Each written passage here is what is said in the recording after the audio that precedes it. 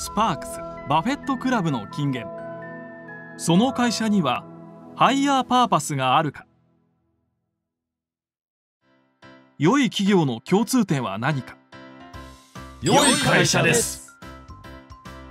その一つに従業員や社会が共感できる目的イコールパーパスが掲げられていることがあります。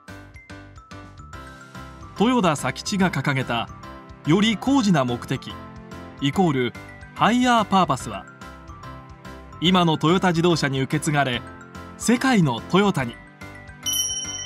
従業員の仕事を効率的に楽にしたい。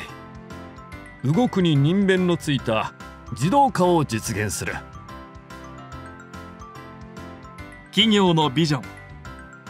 多くの人に幸福をもたらすハイヤーパーパスが企業の持続的な成長には必要